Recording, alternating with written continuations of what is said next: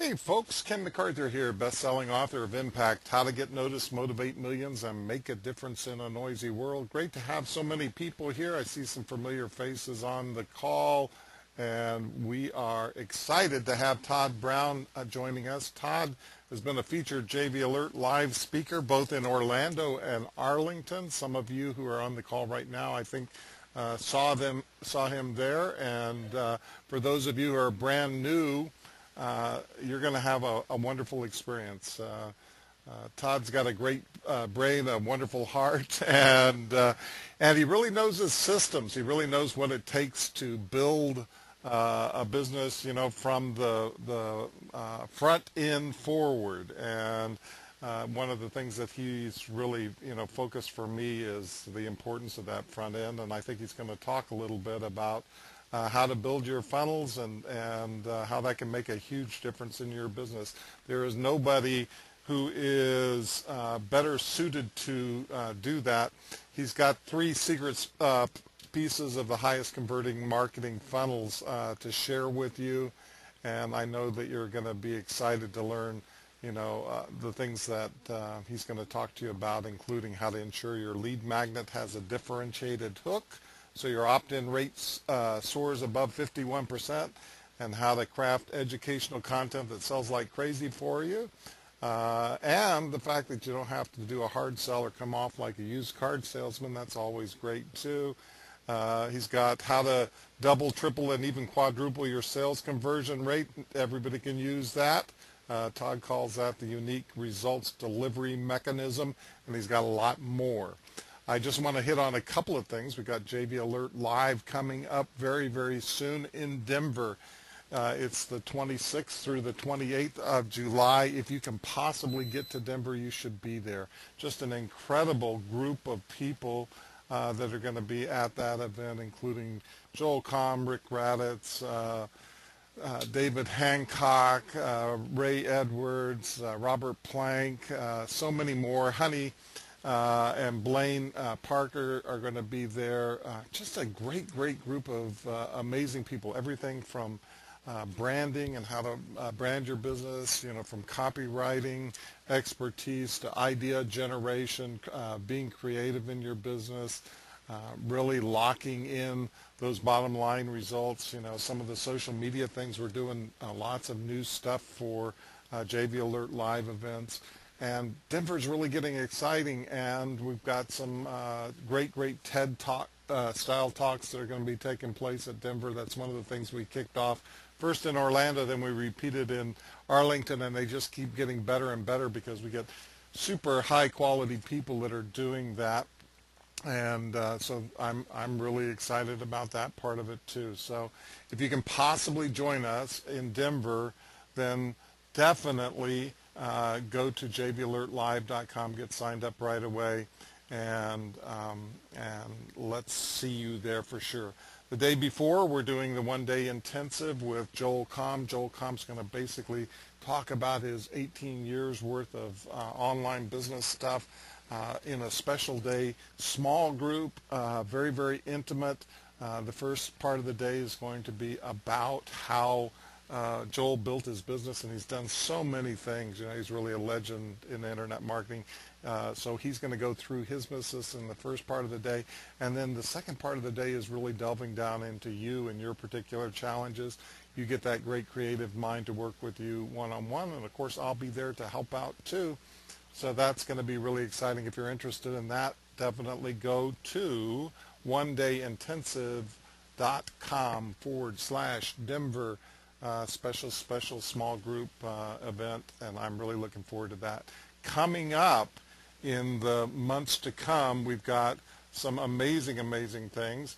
Um, starting out with uh, August the 8th through the 12th, we'll be doing one day intensive in the JV Alert Live in Philadelphia, Pennsylvania. That's the first time that I've returned to Philadelphia in a long time. I'm excited about that. Uh, potentially, we're looking at the following locations coming up. You can hold the dates if you want. Um, September 19th through the 22nd, we're looking at Scottsdale, Arizona. Uh, October 17th through the 20th in Atlanta. November 7th through the 10th in San Diego. December 8th, uh, sorry, 5th through the 8th in Washington, D.C. And then after the start of the year, we're looking at uh, places like uh, Vegas in January, Orlando, Tampa, or Miami in February, March, uh, Los Angeles, uh, April, Chicago, and back in Philly again in June. So exciting, exciting stuff coming up. Uh, more and more people rushing in. Like quality, quality, quality, like our guest today, and I won't delay it anymore. Uh, do go out on your social media and invite people to join us. Uh, you can uh, just send them straight to uh, kenmcarthur.com, and I'll type it into the chat area so that you get it right. But it's kenmcarthur.com forward slash open for our open um, webcasts that we do for our Impact Action team.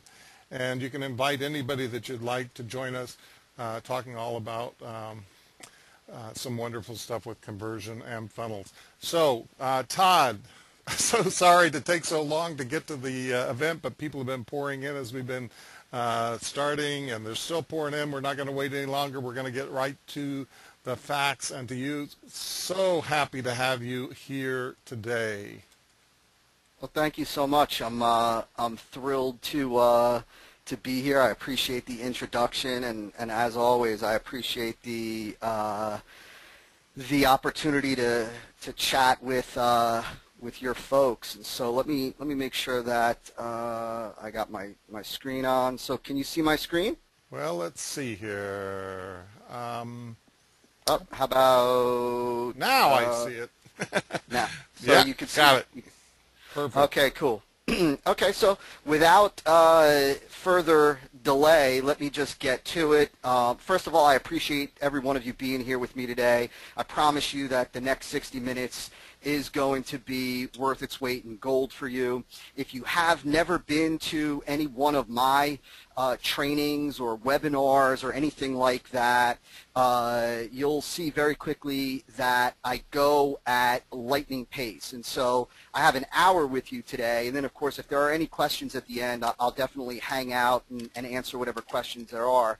But I'm going to pack as much content into the next hour as possible, and then I'm going to make sure that we get you uh, out of here on time.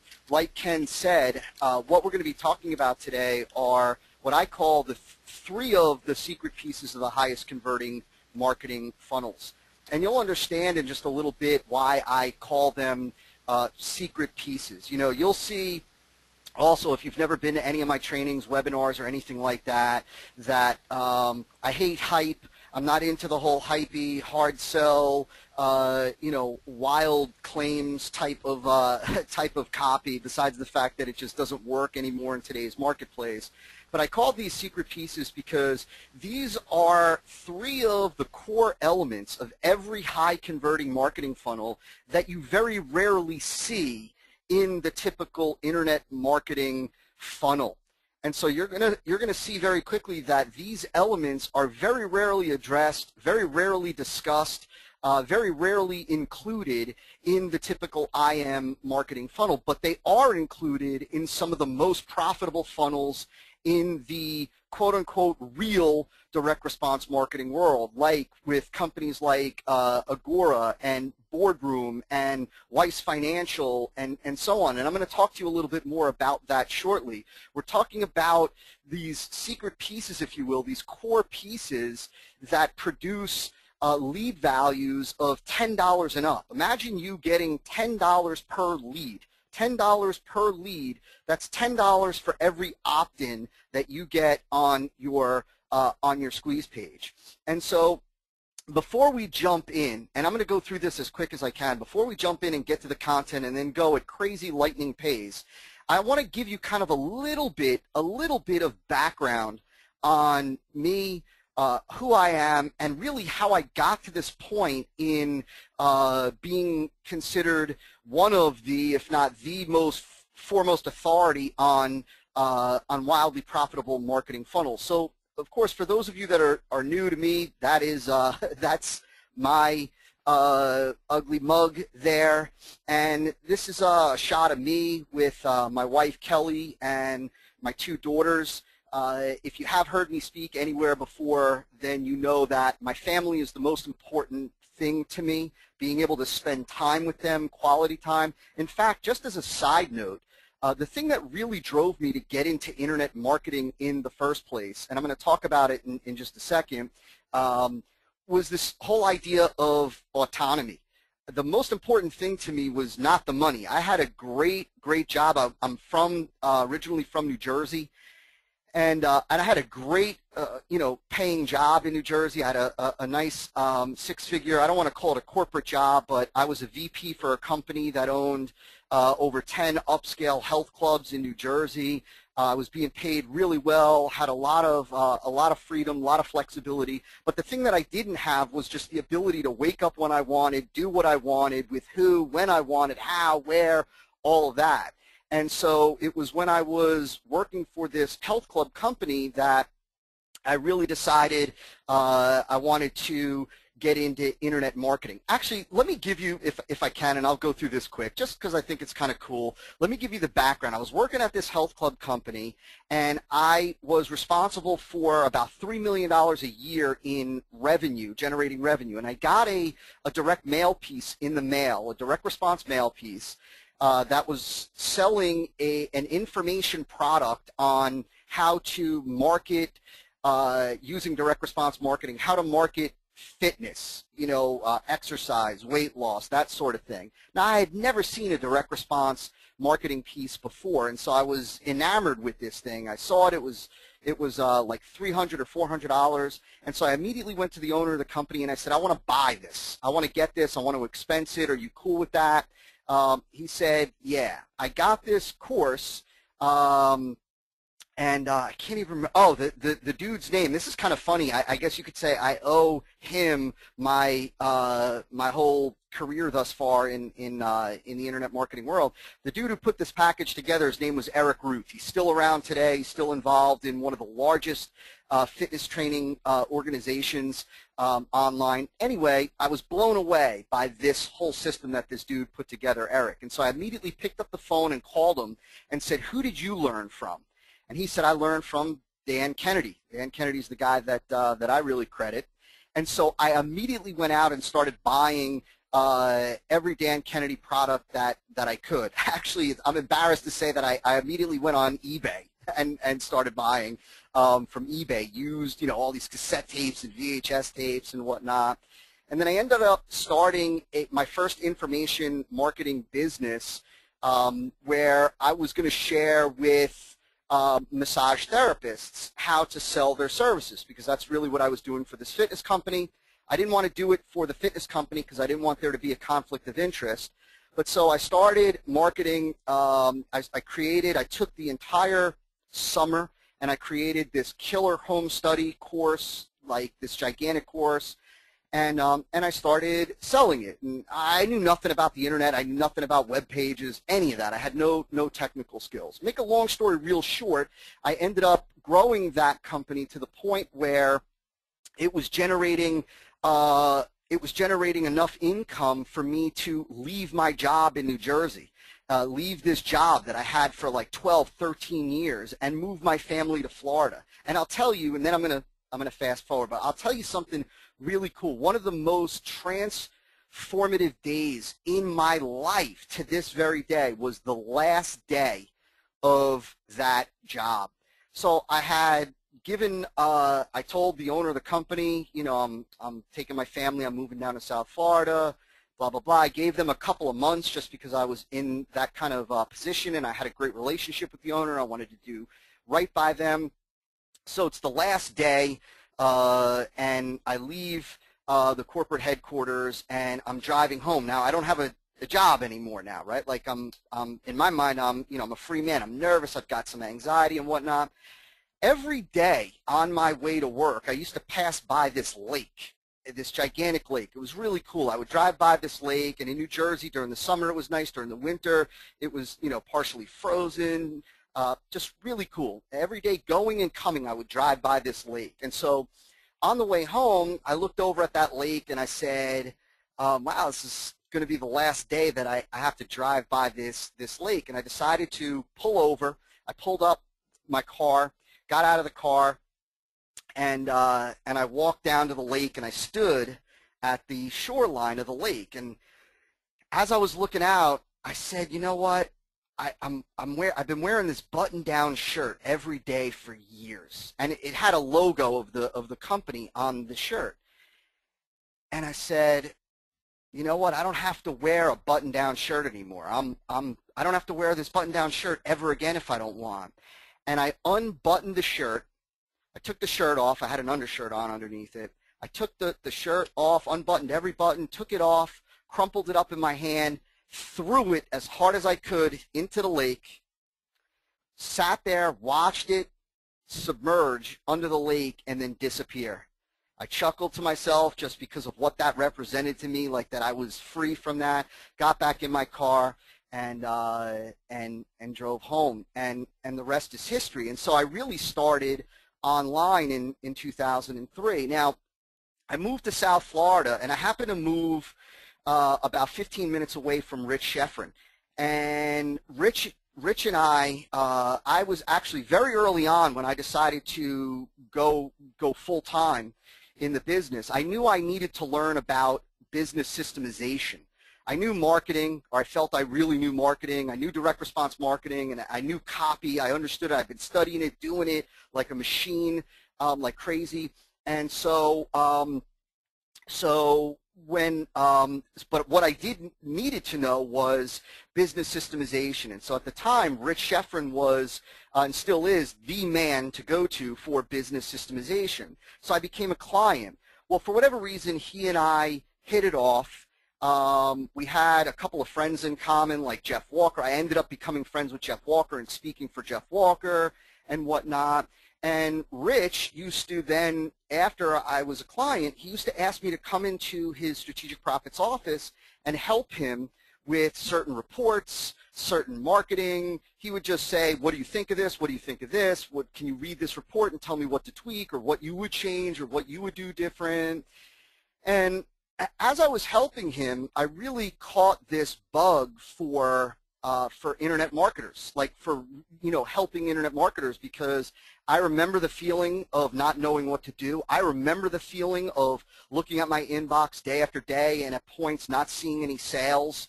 Um, you know, I, I remember what that was like when I first started. Um, and and so I just got really excited about this idea of helping other internet marketers. And so I said to Rich, I said, I'm, I'm, I'm really thinking of sharing with internet marketers some of the stuff that we're doing in my companies. I had started a couple of different companies and a couple of different niches that were that were um, all doing um, all doing pretty well. We had a couple of six-figure companies, a couple of seven-figure companies, and he said, "Listen," he said, "Come in and do it at Strategic Profits.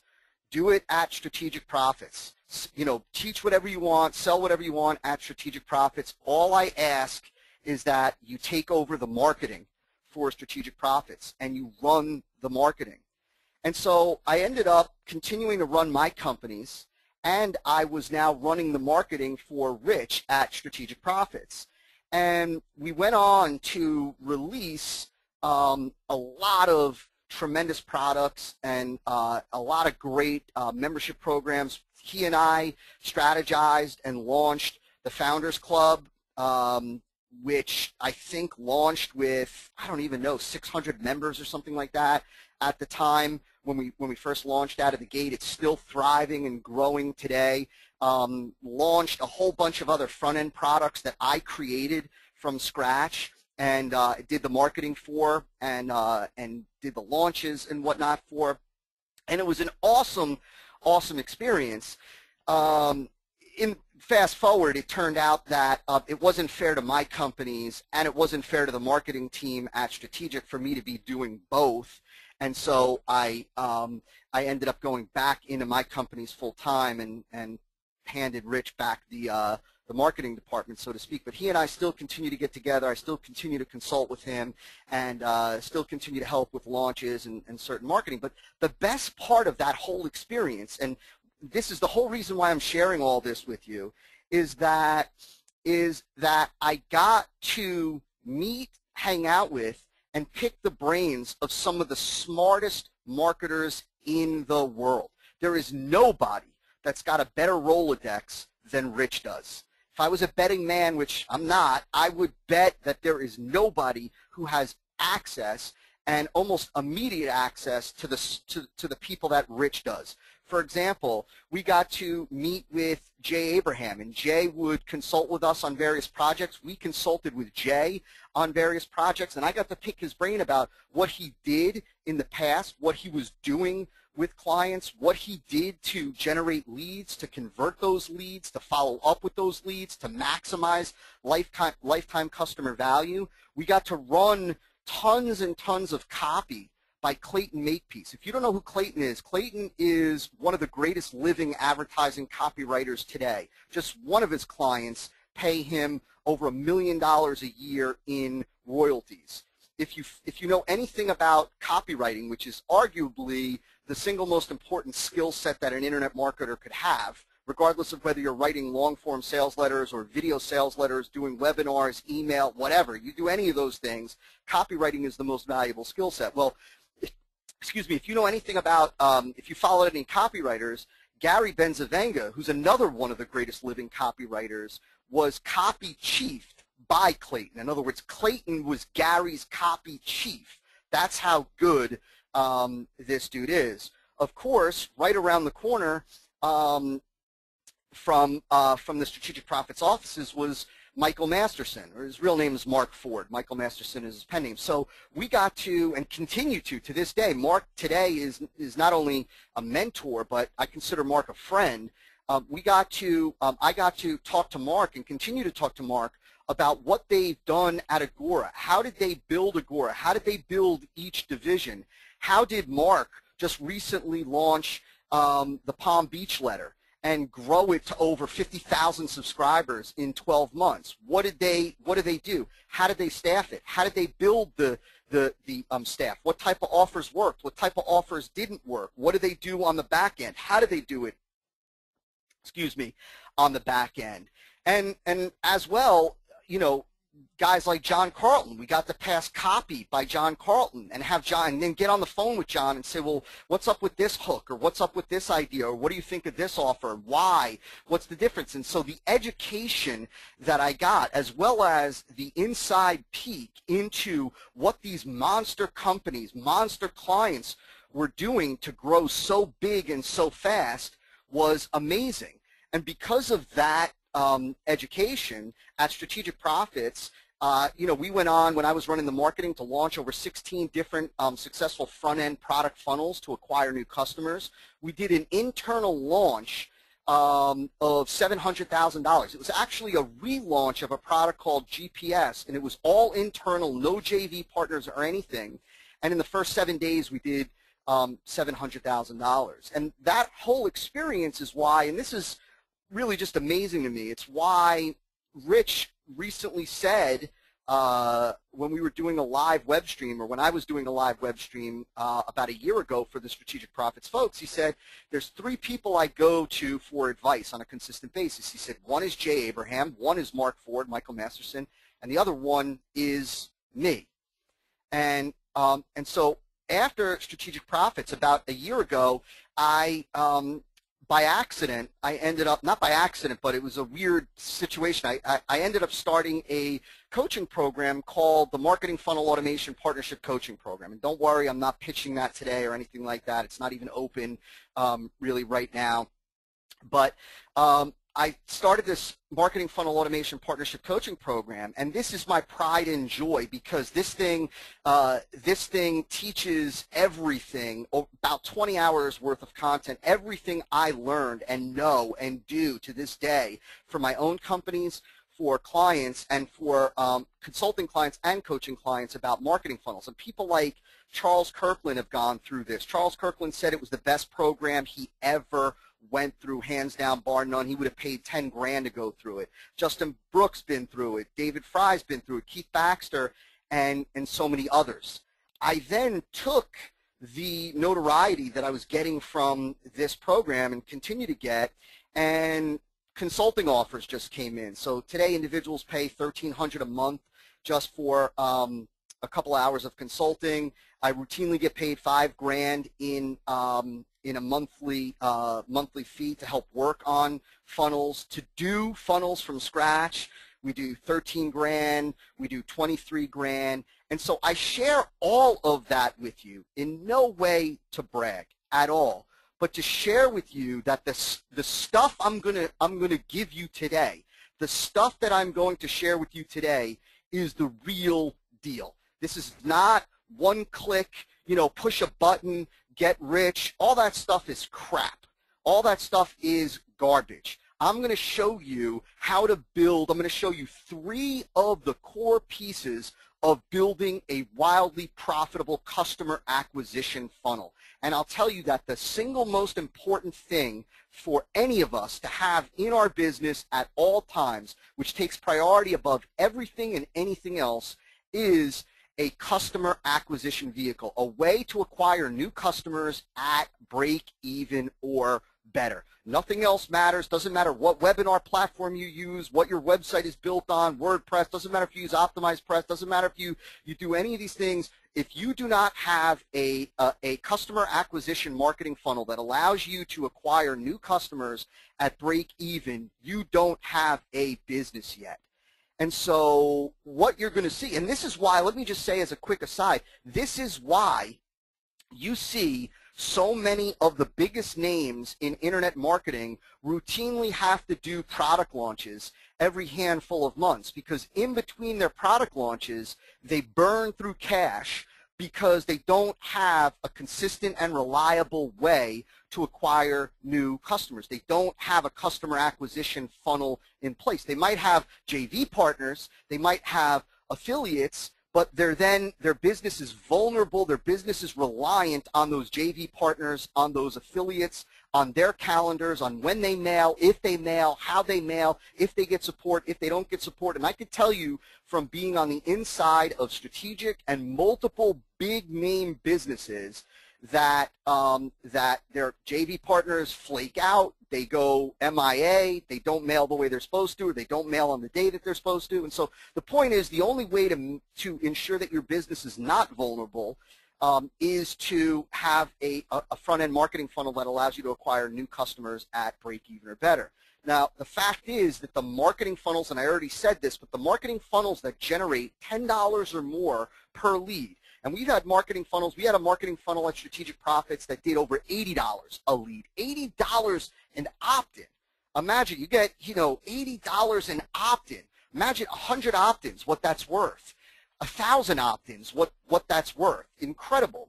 But the marketing funnels that generate $10 or more per lead are built with seven strategies that are rarely used in the typical marketing funnels within the IM. And I'm going to share with you three of those strategies today. Now, these three strategies, everything that I'm going to share with you comes out of a paid training product.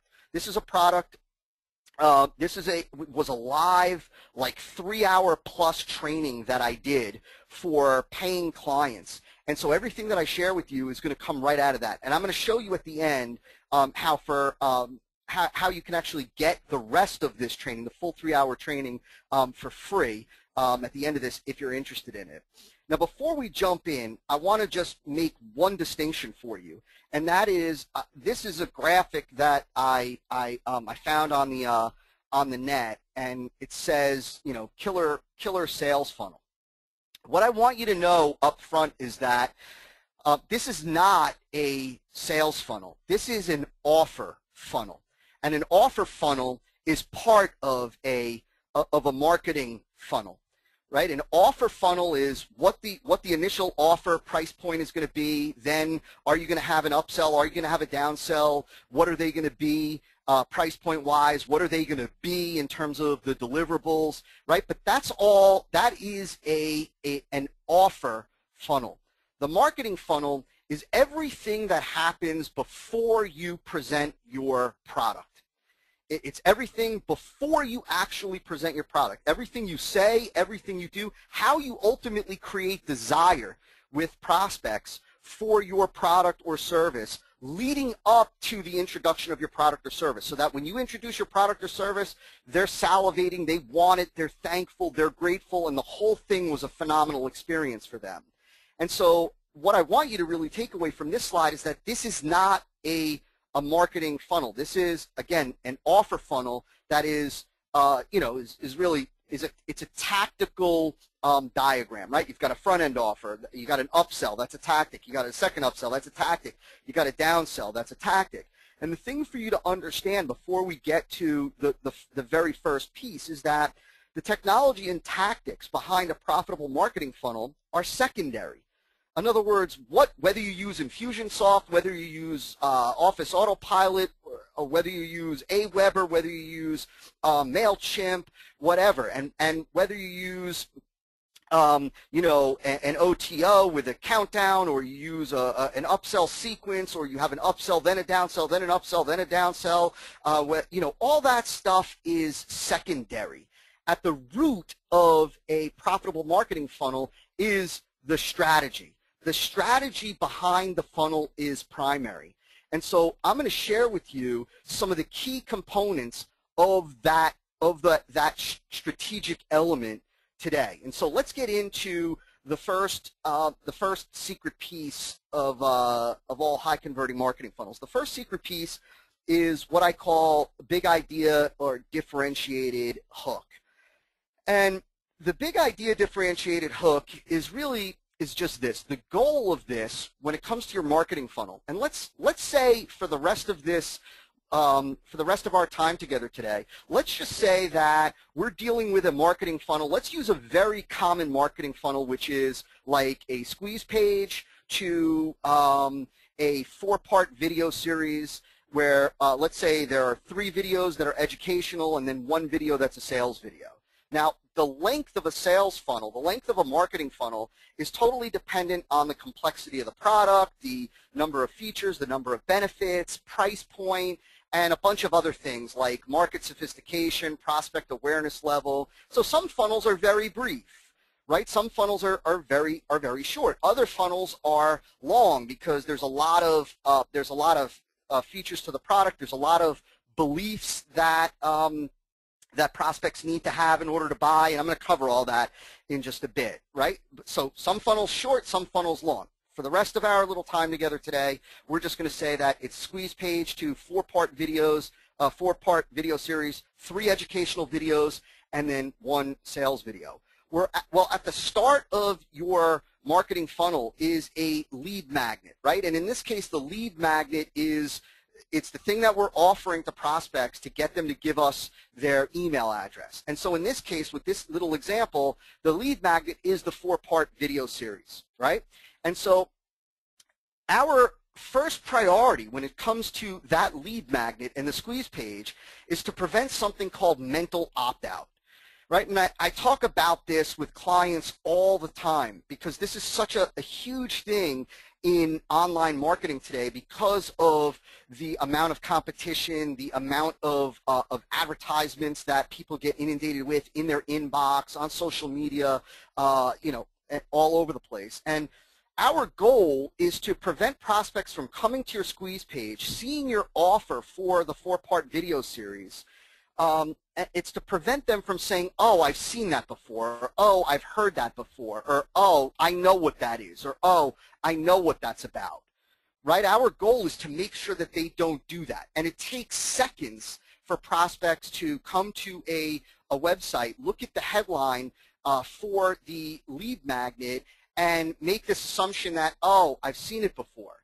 And so ultimately, our lead magnet, our the, the, the theme, the hook behind the marketing funnel content that we're going to present, that we're communicating on the squeeze page, needs to be backed with a big idea. It needs to be backed with a differentiated hook, a hook that is new, that is different, that is fresh, that is compelling, right? If you if you're saying the same thing as the next guy, there's no way that you're going to have a grand slam home run marketing funnel.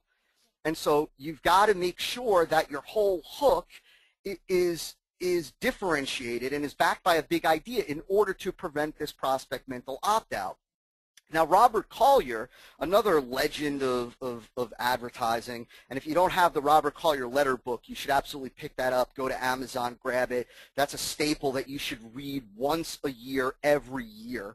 Um, it, Robert Collier talked about, you know, you need to enter into the conversation that's already uh, already in your prospect's mind, right? And so first and foremost, before we can even craft the differentiated hook, before we can even come up with ideas, uh, and judge whether these are big ideas, whether these are new, fresh, unique, different, etc. You've got to enter into the, the conversation already going on in your prospect's mind and understand exactly what it is that they're thinking and feeling as it relates to um, their problem, their, the, the problem that your product or service solves, um, their situation, what they think and feel about your marketplace that you're operating within as a whole, um, their feelings about other solutions, other offers, etc. You need to enter into the conversation that's going on in their mind. And one of the things that I, I suggest, and, and we don't have time to get into this today, uh, but one of the things that I suggest is that you begin thinking about their feelings, not just the things that they're saying. You know, a lot of people will say, go to um, forums, go to read other, you know, competitors' blog comments, um, go to Amazon and read the reviews and comments that people leave on books related to the same topic. And those are all good strategies for doing research, but you really need to take it a step deeper and you really need to think about the feelings and emotions behind uh, those, those thoughts that they're having. Because remember, people buy out of emotion.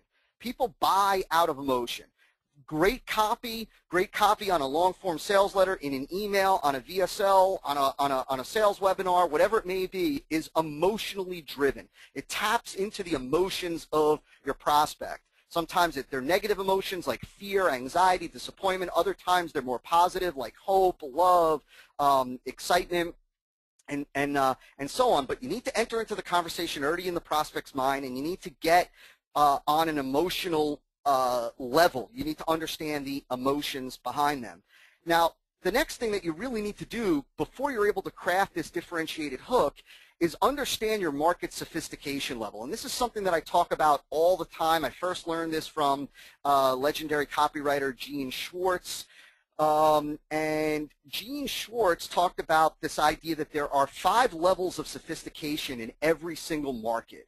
Like every market goes through these five different levels of sophistication. And for time purposes, I'll just say that the market sophistication level is basically um, what have they seen before in terms of advertising and marketing claims and offers from competitors. Because the more marketing and advertising that prospects are exposed to, the more quote unquote sophisticated they become. And the more sophisticated that they become, the less and less lower sophistication marketing or, or lower levels of, of, uh, of, of, marketing that has a lower level of sophistication, the less and less it works. Response goes down. Very, very quickly, an example that I would give you is um, the simple example is in the weight loss market, right? At one point years ago, there was no weight loss pill market. Nobody was selling weight loss pills, supplements, fat burners, anything like that. And then all of a sudden, somebody created the very first fat burner.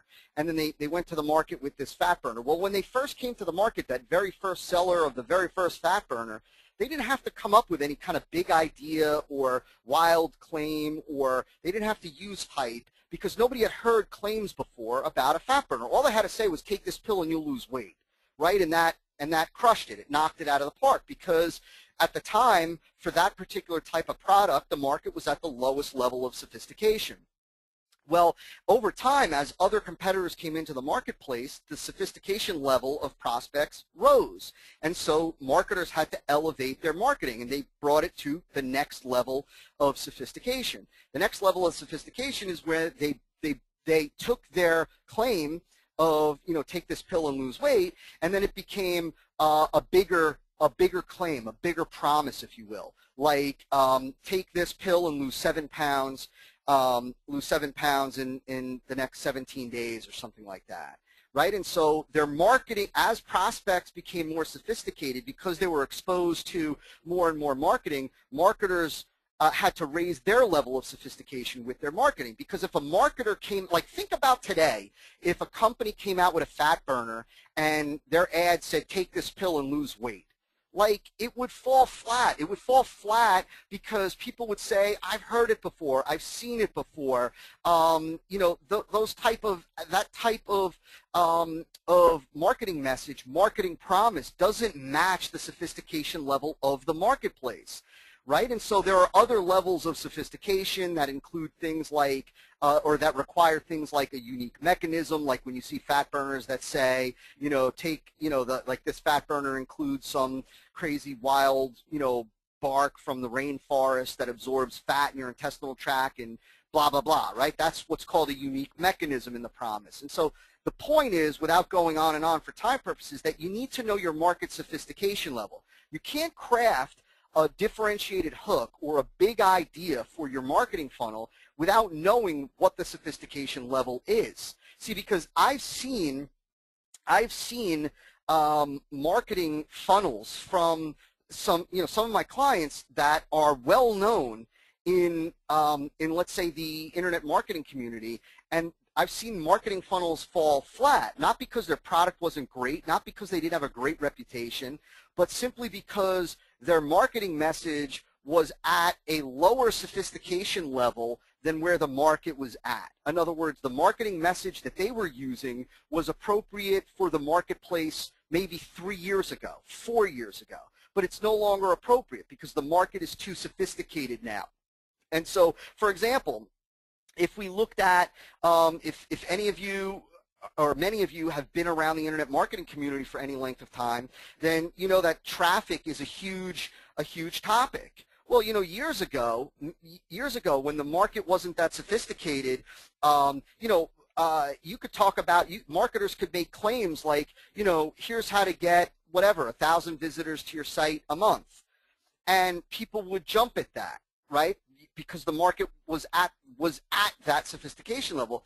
Today, the internet marketing community as a whole is, is much more sophisticated than that. And that type of offer only works on the extreme newbie because today marketers in the IM in the IM space want to hear well what's the how how am I going to get the first of all in the internet marketing community that claim has been made a thousand and one times so today that's why you see marketers that'll say how to get a thousand visitors a day to your website for free by targeting um, you know, your competitor's website and paying a dime per visitor, right? Because that is an example of, of marketing at a higher level of sophistication using something called the unique results delivery mechanism compared to the marketing message that just says how to get a thousand visitors to your site a day, which is a a marketing message that's at a much lower level of sophistication. So you need to know what your market sophistication level is.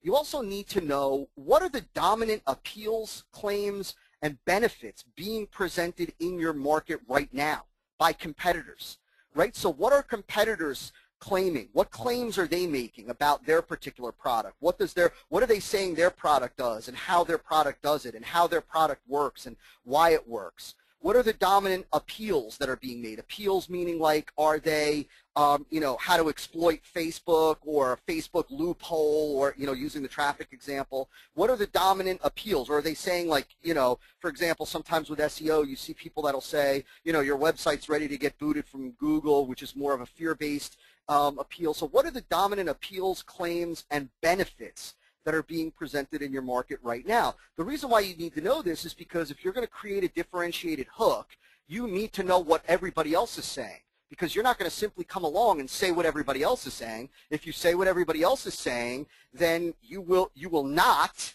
prevent mental opt-out. Prospects will come to your site, will see that, and will be like, you know, I've I've heard that already. I've seen it. I, I've seen it already.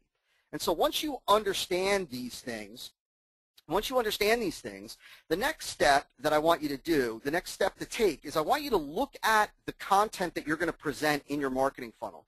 Now let me just say this very, very quickly that, you know, your funnel, a good marketing funnel is is education based, and I'm going to explain that in just a, in just a few minutes. It's education based, meaning that there's information that you're going to give. The information that you give is going to set up the sale for you and create desire um, for prospects, uh, desire within prospects for your product, but it's educational based. It's content. You're going to give information. And so what I want you to do is I want you to think about what is the most surprising thing about your content? What is the most unusual, surprising, astonishing thing about your content? What is the most potentially um, unexpected thing about your content? Or what in your content is potentially contrarian compared to what is being presented in the, in the marketplace? Right? And so an example of this is um, off the top of my head, like there was a promotion at one point for a health newsletter, and the promotion said something like, um, you know, it was something like why, why, uh, you know, it was like something like water, water, the deadly killer, question mark, and then there was like a, uh, the subhead was something about how, you know, the you know how like water is you know water is responsible you know water is responsible for blah blah blah blah blah what you know and why you shouldn't follow your doctor's advice about water. And then it went on to talk about the different types of water plastics and things like that and ultimately it went on to sell a health newsletter. But that's an example of something contrarian or something surprising. It wasn't just made up and pulled out of their rear end um, it was it came from the content that they were going to present but rather than take the typical approach, rather than take the everyday, ordinary approach that most other marketers were taking, they took a totally unique angle. Now, if you're into health, wellness, fitness, nutrition, supplementation, etc., and you see that, that's absolutely going to catch your attention, right? And if nothing else, it's going to pique your curiosity and get you to read on. And that's the that's the goal of the of the headline of uh, of of any uh, of any sales piece. Um, uh, I'm going to skip this, but I'll just say this, that, you know, oftentimes if you can turn your big idea, your differentiated hook into a metaphor or communicate it via a metaphor, depending on what it is that you're selling, oftentimes you can turn a sometimes complex message into a very uh, easy to understand, instantly accessible message. A great example of this was like um, there was a gigantic multi-million dollar um, campaign done many years ago at Agora. Bill Bonner, the founder of Agora, created this uh, this marketing piece, and it was something like uh, the headline was something like the new railroad. And then he went on to um, talk about in the piece uh, to talk about how years ago when the railroad was being laid in the United States, you know, it was huge industry, people made gigantic fortunes, it was incredible, blah, blah, blah, and now they're, you know, like then, there's a new railroad being laid and more fortunes are going to be created. Now there wasn't, he went on to describe a, an opportunity in stocks, certain particular stocks, but that was a metaphor. He wasn't actually talking about a railroad stock or an opportunity to make money with railroads. That was his kind of uh, his metaphor.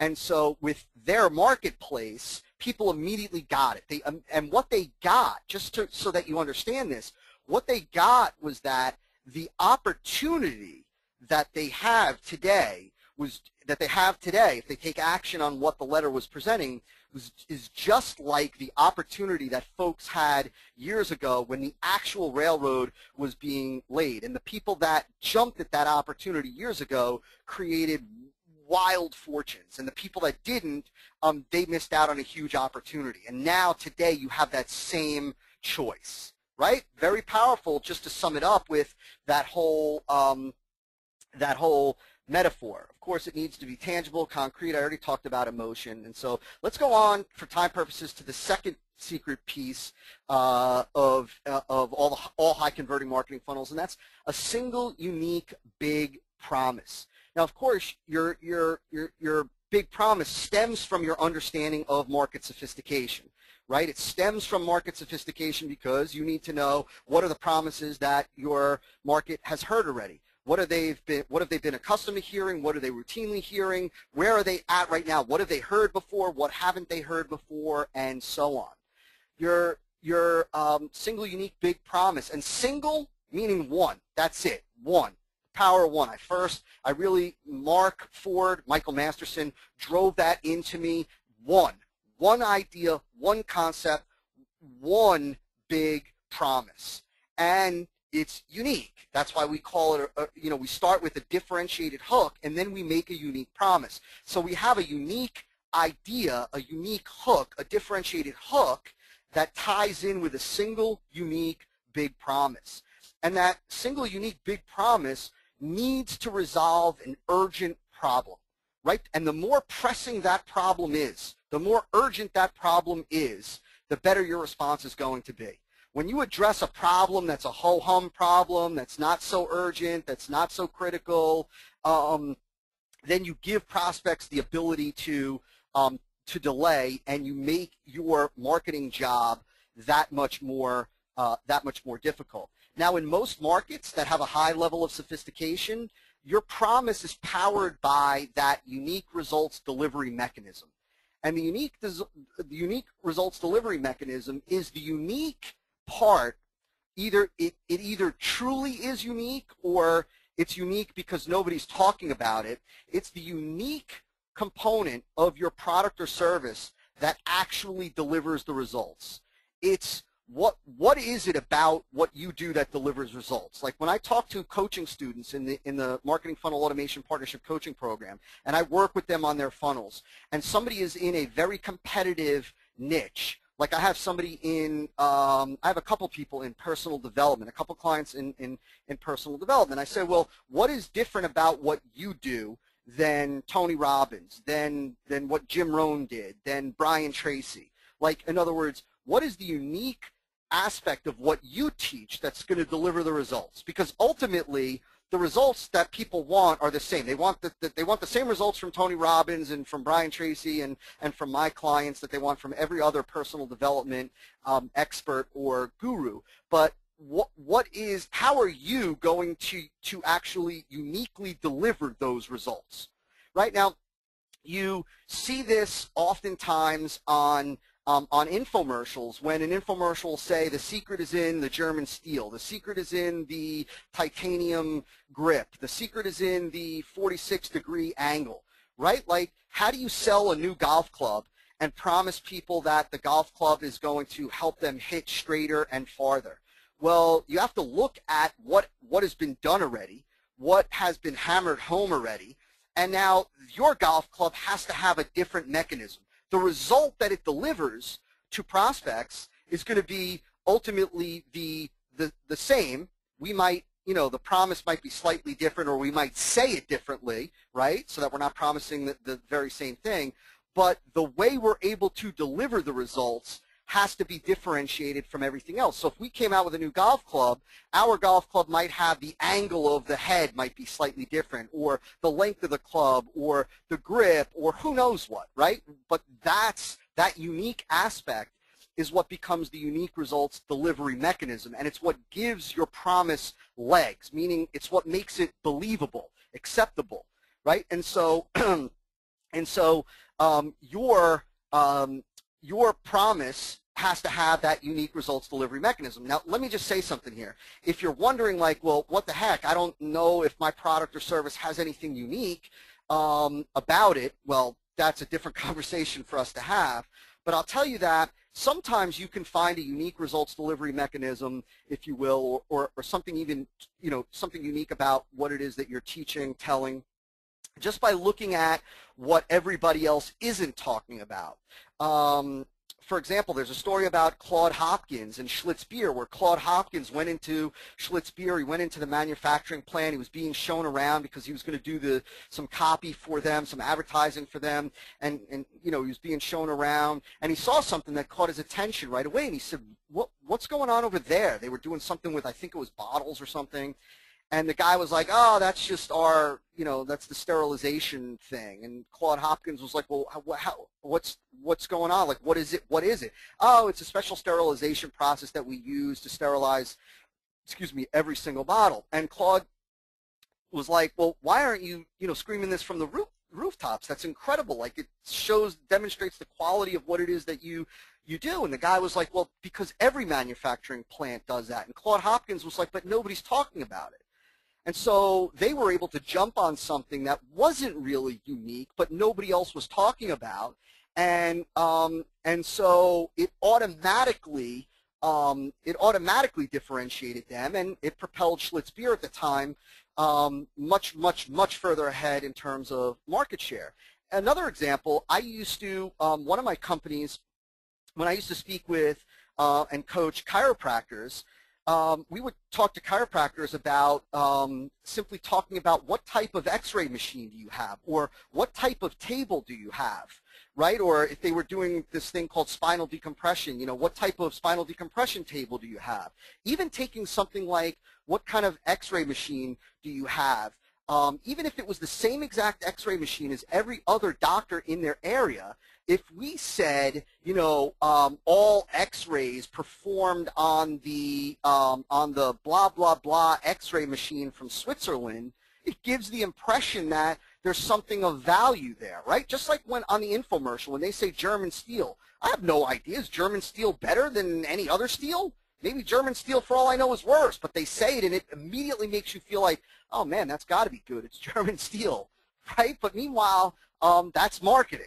That's the beauty of marketing, understanding the way people respond. And that's the, the, the value of this um, single unique um, big promise being powered by a unique results delivery mechanism. You also need to understand the deeper benefits behind the obvious benefits. So when you're making a promise, a promise is of an outcome, is of a result that they're going to experience from your product uh, or from your content in your marketing funnel thanks to your, your unique results delivery mechanism. Um, you want to make sure that you're getting to the deeper benefits, the deepest benefits possible, not just superficial benefits. In other words, you know, I, I, I, often give this example of, let's say there was a, a special pen that we were selling to writers. And we said one of the features of this pen is that it's got a cushion grip, right? That's a feature. And so a lot of people, a lot of marketers would say, well, the benefit then is that your hand doesn't cramp. But what's the deeper benefit to the writer of, of that, right? What's the benefit behind the benefit of that? Well, the benefit is that they continue to they can continue to write. They can write long term. They can continue to enjoy their um, their craft without fear of you know carpal tunnel or arthritis. Um, right. So there's a deeper benefit. It's not just well you can write. You won't experience any hand cramps. You know there's a deeper a deeper reason why they don't want hand cramps. It might be again that they're paid to write. It might be that it might be out of fear of again developing uh, you know whatever a joint condition, whatever. But look for the deeper benefits, the benefits of the benefits. Uh, show don't tell For time purposes, let me see here. Turn your promise into a picture. And what that means is really uh, turn your promise into a picture and a picture that touches as many of the five senses as possible. In other words, you know, when when you make a promise, you want the promise to be tangible, to be real, to stir emotion. And you do that by turning that promise into a picture, by painting a picture of the, the, the promise for your prospect.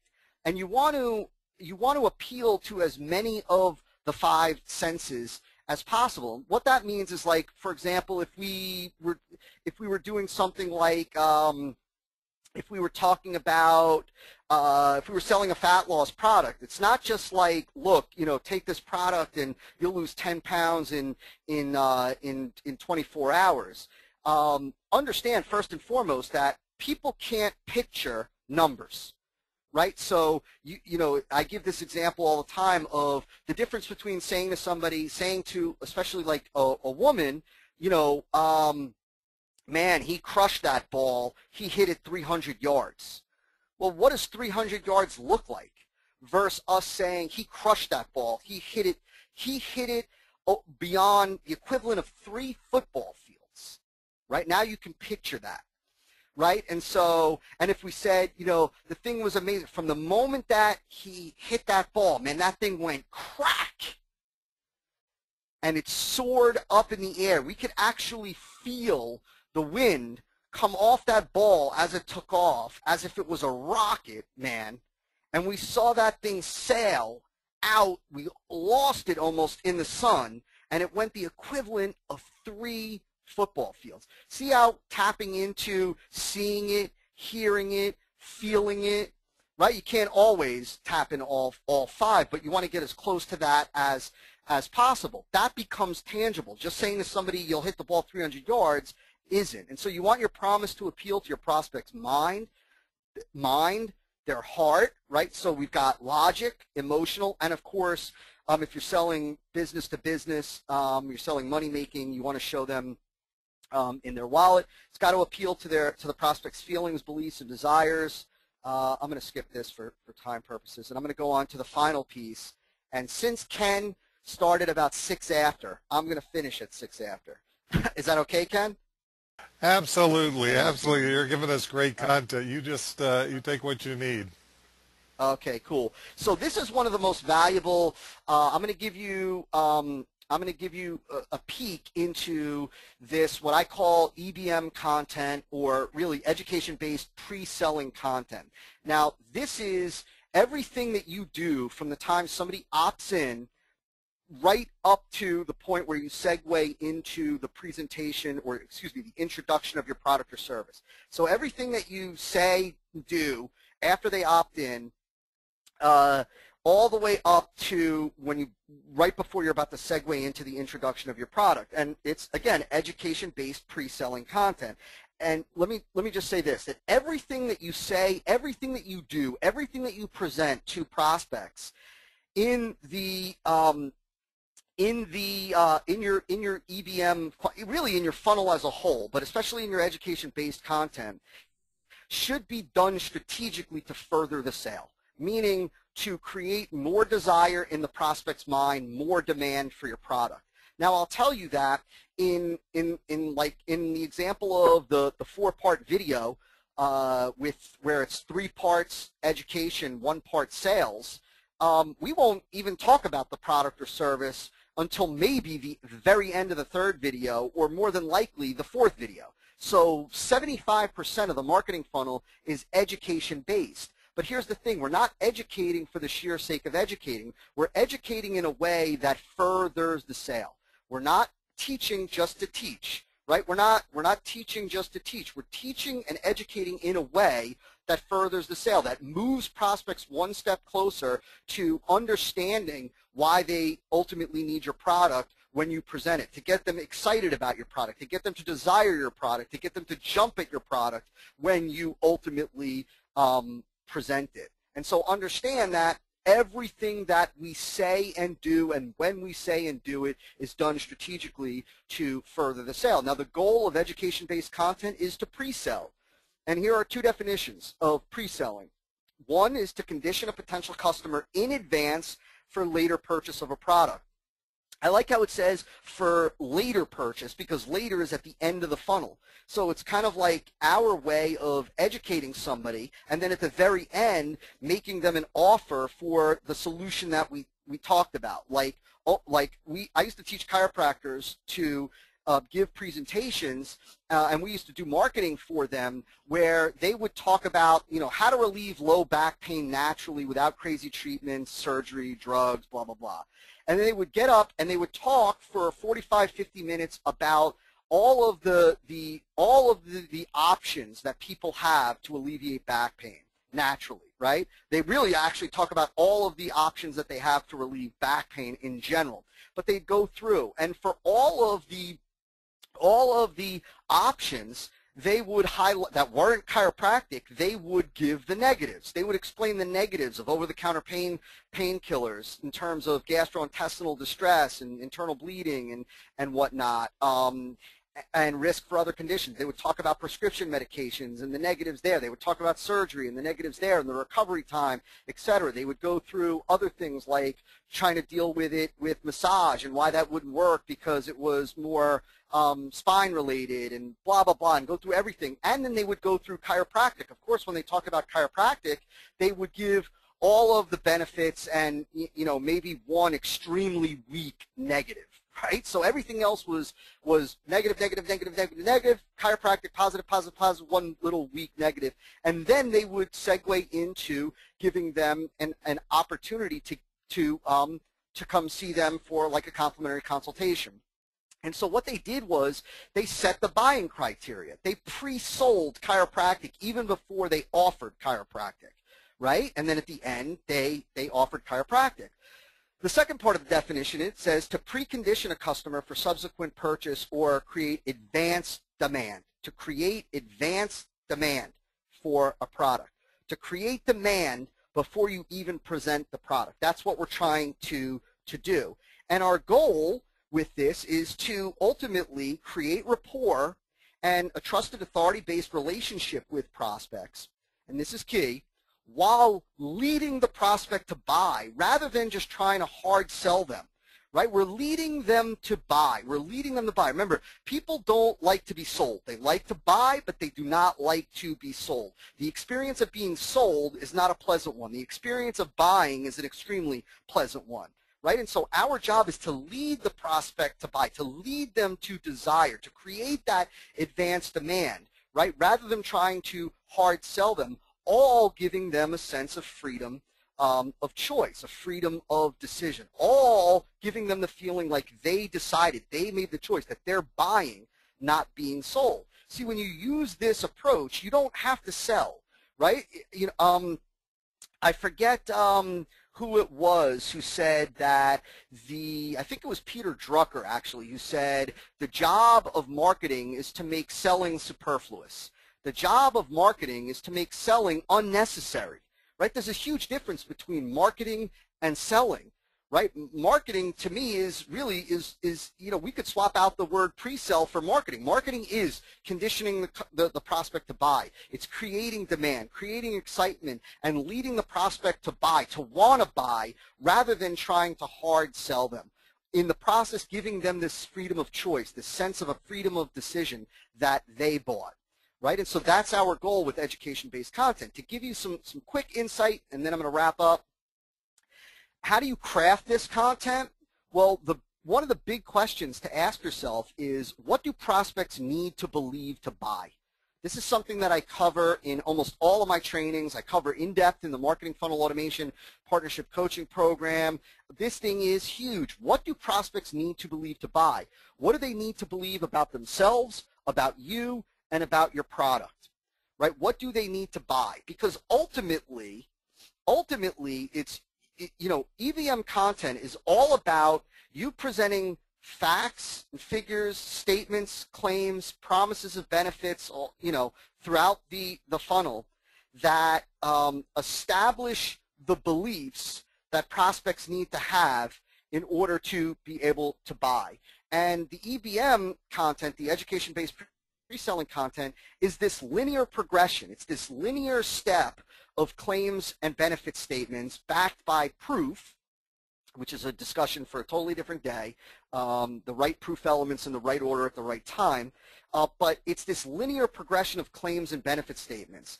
Kind of like, you know, um, if you were a trial attorney, you know, right now in Florida, really it's all over, but the, is the George Zimmerman case. And, you know, I love these court cases. I love court cases. I get sucked into all these crazy court cases only because I love to watch how the, um, the prosecutor presents their argument.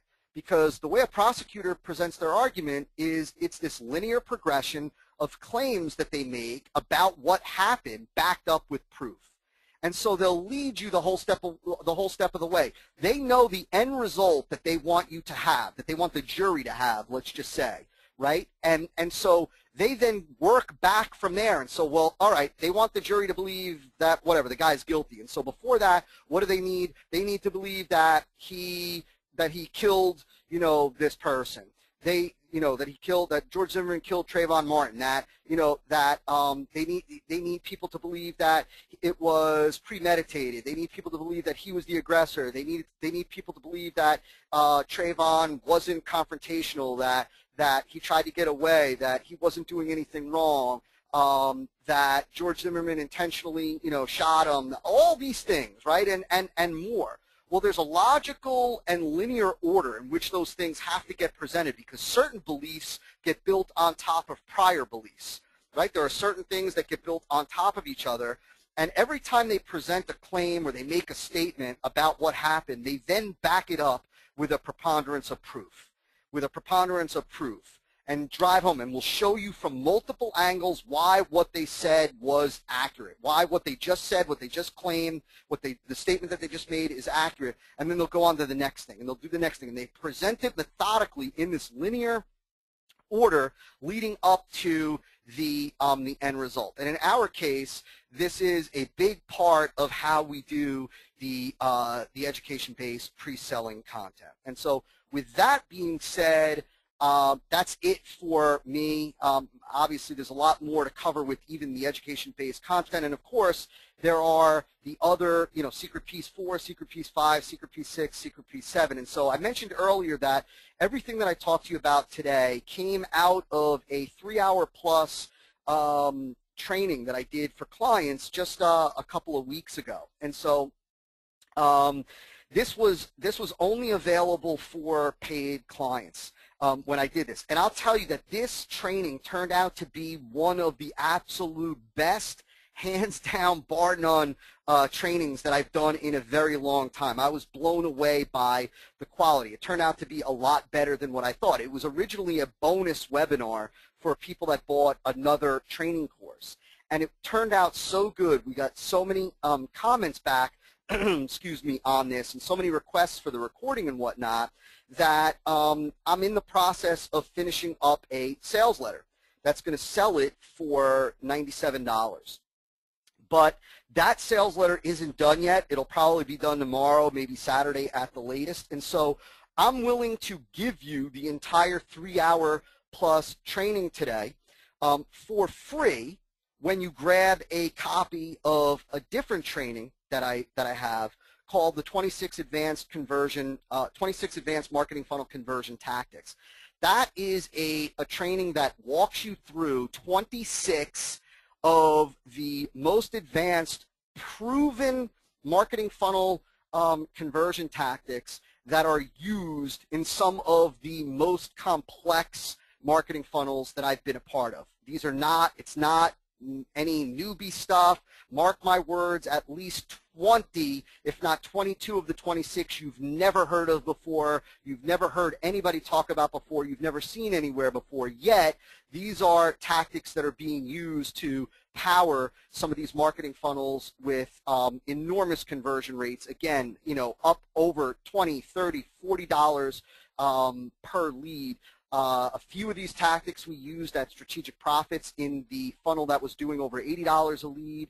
And so um, I'll give it to you. I'll give you the entire three-hour plus training uh, called the seven critical elements of every high converting marketing funnel that'll give you, that'll go in detail, more in detail into the stuff that I talked about today, as well as, you know, um, the other uh, four um, elements.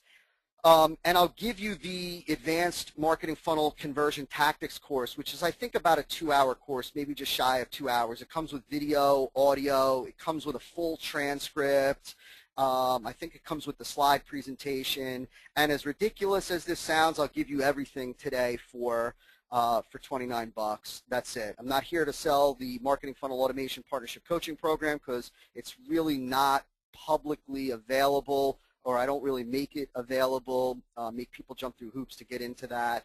Uh, and so if you want that little um, package, there's a special web page that you can go to. This is not an affiliate link for Ken or, or anything like that. Um, there's a special link set up because uh, the offer is only good until tomorrow night at midnight, and then that's it. Because again, we're going to start selling the um, that three and hour, three, three hour plus training for uh, like 97 bucks. But you can get it there, marketingfunnelautomation.com forward slash Ken dash webinar. When you go to that page, it'll look like this. We set this up uh, this morning just for Ken. Like I said, at 11.59 tomorrow night, the page will automatically redirect to the home page on our website, and so you won't be able to get it anymore, but you get everything for just 29 bucks, and you'll be able to access everything right away. So you'll access the entire three-hour plus training and the 26-hour, uh, excuse me, the 26-hour, the 26 advanced marketing funnel conversion tactics course, the whole nine for um, for 20 bucks. And so that's my gift and that's my spiel today, Ken. Thank you so much. Wow, what uh, what great content and and if you you guys don't realize the quality of the the, the content that uh, Todd has to offer by now, I don't know how to tell you. Everybody hung in there. You know, we we uh, uh, we uh, just crammed uh, high level tactics there for you and strategies.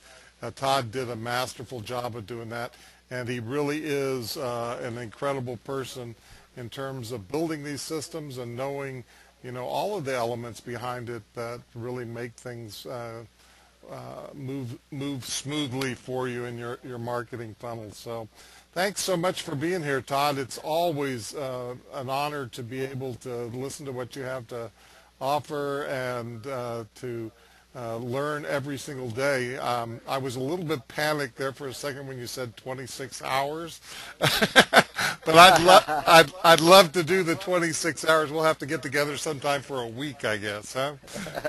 No 26 hours, 26 tactics, no 26 hours. All right. Well, thanks everybody for being here. I hope that uh, you enjoyed uh, today's session. Hope that you'll take um, Todd up on his great uh, offer uh, for that uh, that package for you. And uh, I hope you'll come to JV Alert Live. lots of events coming up. be sure and go to jvalertlive.com. Get on the list there so you'll be notified of all of the events.